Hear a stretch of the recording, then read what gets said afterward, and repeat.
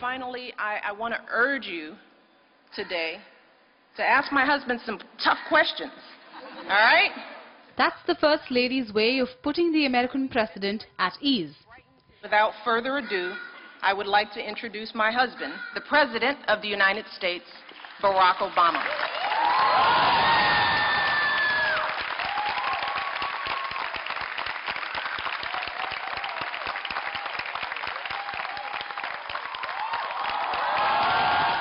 Thank you, everybody. Thank you so much.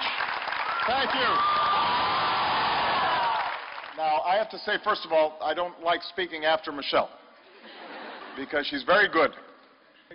He may choose to underplay his speaking skills, but at this interaction at St. Xavier's College, America's youngest president had the audience eating out of his hands. His sincerity, humor and charm hit all the right notes. The stage was set the minute the First Lady introduced the man who needed no introduction, egging on students to ask him some tough questions and keep him on his toes. Sure enough, the students didn't disappoint. What is his take or uh, opinion about jihad? As she said, diplomatic his answers were, and it's quite understandable. The interaction lasted an hour and had all 300 students in the audience hanging on to his every word. I don't want any young person here. The biggest thing you can take away from meeting Obama, the president himself, is his vision.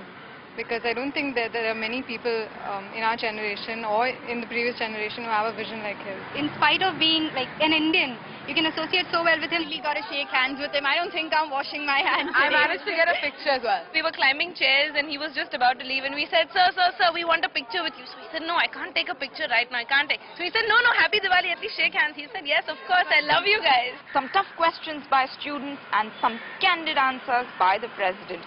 The Obamas bowled over the young gathering with their trademark eloquence and truly made it an afternoon to remember.